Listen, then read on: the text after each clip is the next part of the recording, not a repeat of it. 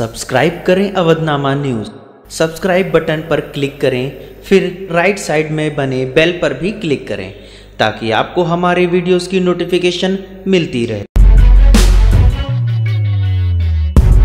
बहनों को return gift के रूप में दिया हेलमेट दोपहिया वाहन पर पीछे बैठने वालों को भी अब लगाना होगा हेलमेट एसपी ट्रैफ़िक गोरखपुर में पहले भी बहनों को रक्षाबंधन के रिटर्न गिफ्ट के रूप में हेलमेट उपहार में देकर दोपहिया वाहन चालकों को हेलमेट पहनने के लिए प्रेरित करने वाले एसपी ट्रैफ़िक आदित्य प्रकाश वर्मा ने बुधवार को यातायात कार्यालय पर पुरुषों को हेलमेट वितरण कर एक बार फिर से सभी दोपहिया वाहन चालकों को हेलमेट पहनने की एक प्रकार से चेतावनी दे दी है।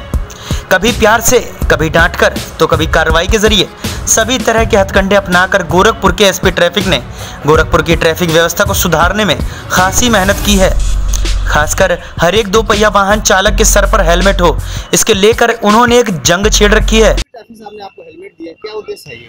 जी मेरी सुरक्षा के लिए हमें हेलमेट मिला है और बहुत खुशी हो रही है कि रक्षाबंधन के अवसर पर हमें आज हेलमेट मिला है और मेरे भाइयों ने हेलमेट दिया है। हेलमेट आज आपको मिला है? क्या कहना चाहेंगे इस पर? बहुत खुशी है रक्षाबंधन के अवसर पर हेलमेट मिला है।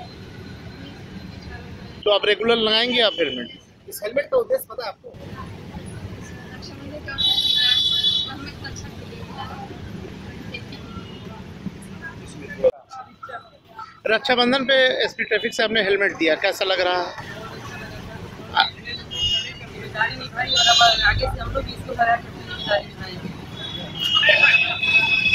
से यातायात व्यवस्था को सुधारने के लिए अपने इस जुनून को लेकर कभी सड़कों पर चालान काटते नज़र आते हैं तो कभी हेलमेट बांटते हैं। आज फिर उन्होंने हेलमेट देकर दो पहिया वाहन चालकों को सचेत किया है कि आगे से बिना हेलमेट के कोई दिखा तो उस पर भी कार्रवाई की जाएगी। इसके अलावा उन्होंने कहा कि अब सितंबर की पहली तारीख से दो पहिया वाहन पर पीछे बैठने वालों को भी हेलमेट लगाना अनिवार्य होगा। आपने जो है लड़कियों को हेलमेट दिया क्या है देखिए कल रक्षाबंधन है और मेरे बहनें नहीं हैं तो बड़ी चीज़ नहीं है। तो मुझे रक्षाबंधन दिन जो है बहनों की कमी होती है।